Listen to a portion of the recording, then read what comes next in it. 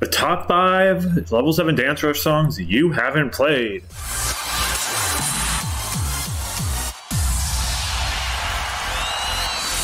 And be sure to stay to the end to see what the final song is, because I'm sure you'll be surprised. So, let's do this.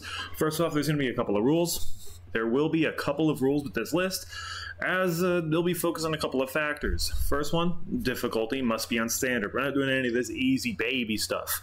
Uh, this would be the equivalent of somebody playing expert on Dance Dance Revolution. Second, the ranking on the list factors in the music, if it's poppin' or fun, along with the flow of the chart.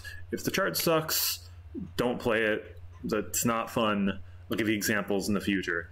Third, and the final and most important one, is your ability to have fun with it. Freestyle ability.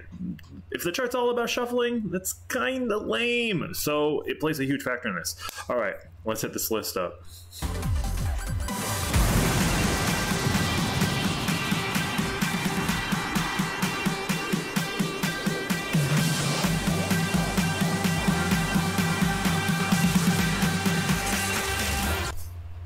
Number five. New Age. New Age is one of the first songs you have access to in the game. It's been open to play from almost the start of the game's creation, about five years ago from when this video was made. It's a mix of a funky beat mixed with a mellow, sexy saxophone insert saxophone man right here. This guy, oh yeah, it kind of gives the song a funky vibe. It's definitely not the fastest chart or the fastest song, but after you give this song a try a couple of times, you're gonna start to like it as it's a good introductory song to the dance move SpongeBob's and mix ups with your feet.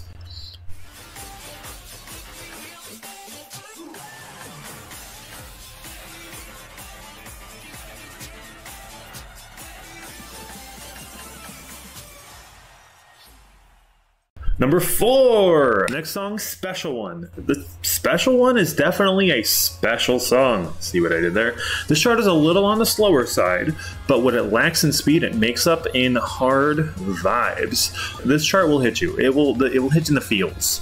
Also, the chart and the music really sync very well together, allowing you to incorporate some nice spins and some high quality fancy footwork for something a little on the slower side.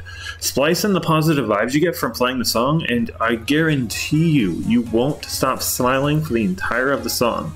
This song is 100% hashtag bopper, so if you don't play this, you're missing out.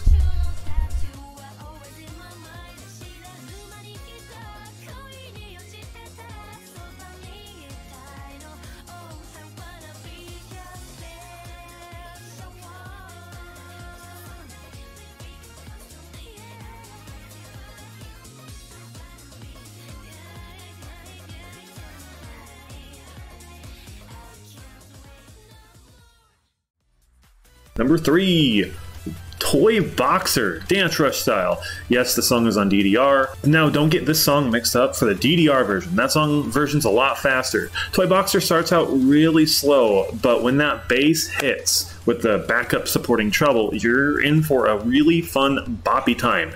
This song is a bouncer, so you'll be wanting to hop around from note to note all over the pad, just not wanting the song to end. This is a absolute must play if you like kind of a neo style chip tunes version of music.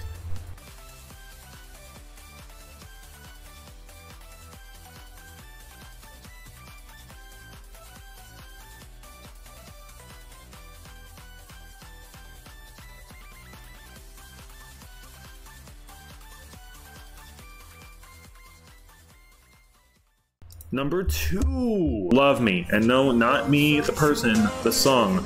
And don't let the name and the opening of this chart trick you. It starts off very slow, almost in the form of two individual waves, where it starts off slow, builds in, hits you with that bass, and then you, you instantly get the vibes where you want to start moving a lot with a strong stop, where then you will be able to recover and do it again. You'll be freestyling and shuffling everywhere on this chart.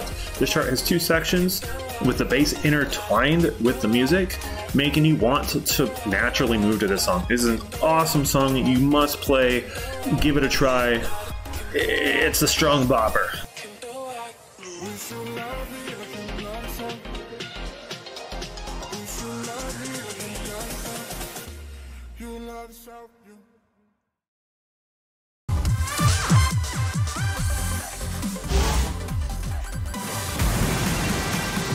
All right, and now for honorable mention. I know. The strong honorable mention for this list is Party Jumpin'. I personally love this song. However, it's the song is absolute fire, absolute 10 out of 10 song. Like it makes you want it like like every time you hear that party jumping part, you just want to go, yeah. But it's very easy. It's very, very easy. The chart is very very short the the song is a shorter song it has like a few it has a few shuffle sections with running mans and t-stepping and then it repeats that about twice um, and even during the slowdown parts it's not too engaging. The song is amazing. I'd still recommend you giving it a try. Uh, it's a good song that you could try that you could consider learning to play backwards on. But it looks like it's like the song has a strong build up, but doesn't really give you much of that oomph that players are seeking for when they want a high energy bopping song. So this song gets an honorable mention on this list. Sorry, party jumping. I love you. You could have done better.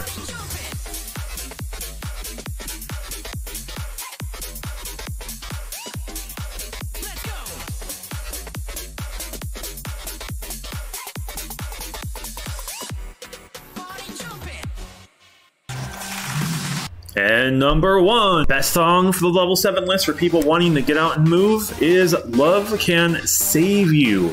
This song, number one, this song was made by Hideka Hideka Naganuma. Probably said the name terribly. I'm sorry. He's a gaming legend. Did music for Dan- uh, Jet Set Radio, Bomb Rush Cyberfunk, a few other games. D- he's he's amazing. Look up his music. This chart is a little on the easier side but the song is long and it's very easy to incorporate hand and other freestyle movements to this song. This song actually has a a dance routine incorporated with it. If you go play, um, if you go play the Xbox, one of the Xbox dancing games. Also, uh, it's easy to freestyle, uh, allowing for some really fantastic trains, so you can get with your friends and have a blast. The ending looks boring, but it's because it's so basic, you can do as much freestyle as you want and guarantee the last five to six notes, and you'll hit them and feel like an absolute boss. Uh, overall, these songs are great for all players of all skills. That's the level 7. If you haven't unlocked them yet, you are definitely, definitely missing out. You need to try these now, because if you don't, uh, it's going to explode. Thanks for watching. Bye. Do you agree with my list? Do you disagree? Let me know in the comments below, and uh, I will see you on the dance floor when I do level 8. Bye.